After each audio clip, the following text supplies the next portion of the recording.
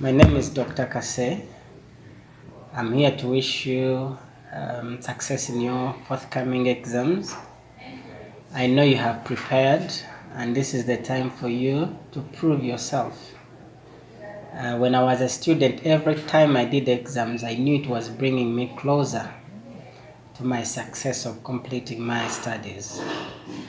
Uh, so I wish you the same, and I hope that we will meet someday when we are celebrating.